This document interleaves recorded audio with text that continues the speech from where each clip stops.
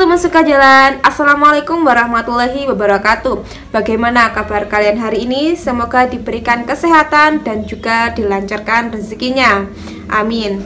Halo teman suka jalan, saya Septi di sini. Saya akan memberikan informasi mengenai kasus Vina yang belakangan ini sangat viral dan juga masih berkelanjutan teman-teman. Masih belum ada titik terang di kasus ini. Apa sih mana sih pengacaranya Vina ini sehingga proses ini sidang ini berkelanjutan sampai saat ini sampai belum bagaimana kasusnya ini sampai saat ini kita lihat siapa pengacara si Vina ini kita mulai dari sini teman-teman. Halo salam kopi Joni Hotman Paris di samping saya ini adalah pengacara Putri calon wali kota Bandar Lampung. Putri ini sudah Jadi pengacara Vina adalah Putri. Putri ini adalah calon wali kota Bandar Lampung teman-teman. Kita next. Putri ini sudah banyak membantu pengais keadilan di Kopi Joni termasuk para pengais keadilan dari Provinsi Lampung. Jadi sangat tepat dia calon wali kota Bandar Lampung. Salam Paris. Nah, si Putri ini adalah pengacara dari kasus Vina.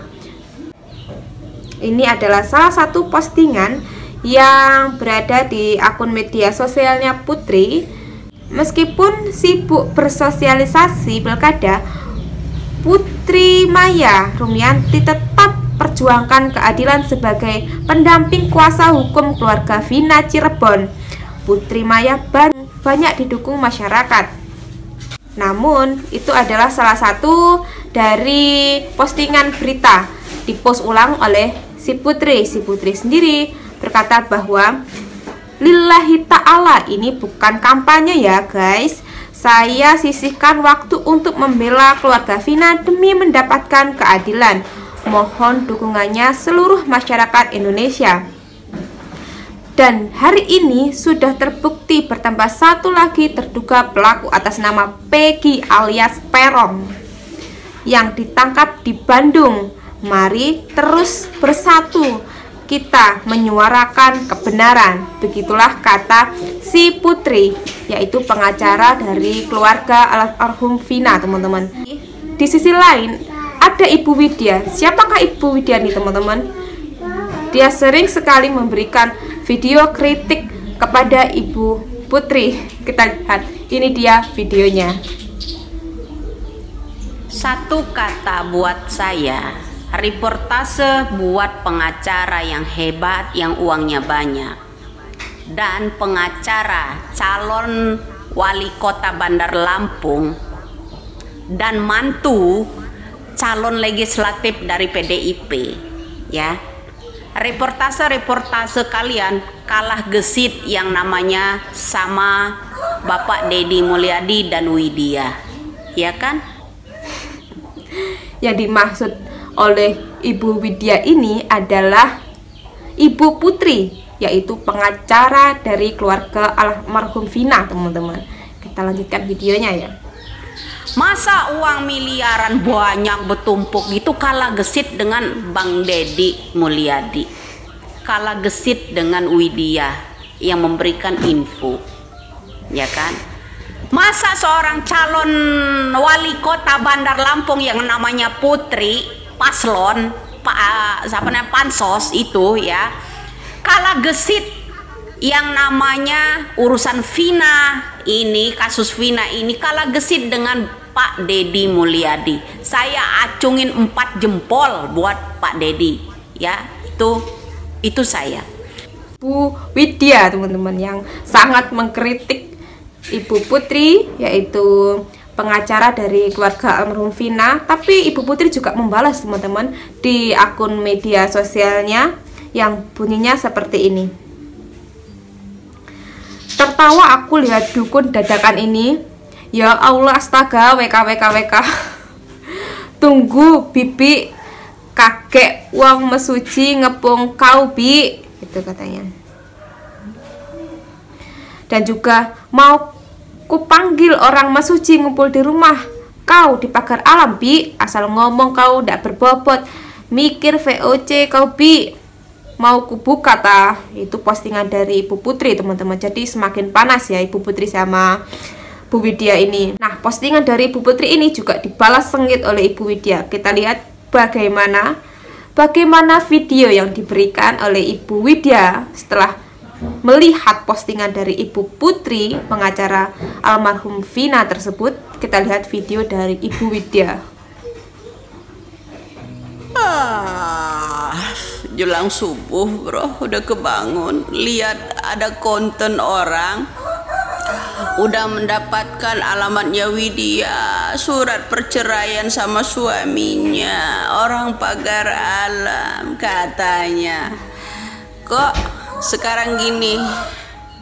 Juga ada klarifikasi pengacara timnya juga katanya benar-benar uh, mau usut tuntas. Dan minta kepada presiden cuma minta tok ngerjain kagak lebih keras Widya daripada kalian berdua untuk meminta kasus Wina ini dituntaskan terutama Kapolri ya kan hanya Widya lah yang keras itu kok malah sekarang ada dua pengacara uh, dua Ketawanya pengacara itu. ya sibuk ngurusin Widya ya enggak ngurusin yang namanya kasus Finah lagi. Ya saya kalau mau mau ya dibayar mahal ya. Duit saya udah banyak. Yang satu udah saya embara dari 10 juta menaik jadi 150 juta. Uh, keren sekali bro. Seorang yang namanya pengacara ya pada saat dia live streaming di TikTok pengacara cari cuannya di TikTok. Kemudian Sedikit ada pengacara senggol bos. Dia lagi yang namanya siaran langsung kesinggung kenapa masuk-masuk ke room saya? Itu tandanya orang berani. Kamu nggak pernah berani kan? Kayak saya. Terus uh, nah begitu teman-teman Ibu Widya ini sangat sengit teman-teman dia emang sering mengupload uh, berbagai macam video untuk mengomentari politik.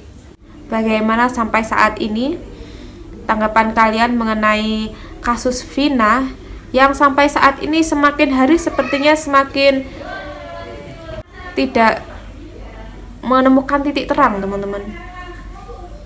Apalagi ada banyak sekali saksi-saksi yang bermunculan saksi-saksi baru apalagi ini kasusnya kan sudah 8 tahun yang lalu pasti memori ingatan itu akan semakin kurang tajam ya. 8 tahun yang lalu teman-teman. Sudah cukup lama kasus ini. Bos uh, apa namanya gimana kasus Vina sepanjang ini belum ada perkembangannya. Udah mau ke 9 tahun ini berarti. Nggak tuntas pula. Dulu lu ke mana aja? Ya dari yang namanya 2016 sampai sekarang terus mulai ada namu ke rumah uyah kuyah juga orang ini. Aduh ya ampun. Namu sana klarifikasi sana klarifikasi sini satu ya. Terkuak satu persatu. Ternyata Putri itu calon wali kota di Bandar Lampung yang sibuk live streaming, cari cuan, cari gift di yang namanya TikTok. Ya. Yang kedua mantu, ya. Mantu itu calon anggota juga. Ya, calon legislatif apa calon pemimpin daerah pula Oh, ternyata orang-orang yang nyerang-nyerang Widya itu ya karena Widya bersikeras untuk mengangkat keadilan di negara Republik Indonesia ini agar kasus Finah ini cepat terkuak. Jangan dengan alasan itu ini itu ini. Ya kan? Dari nadah sayalah mereka itu tak tak tak tak mencari tahu.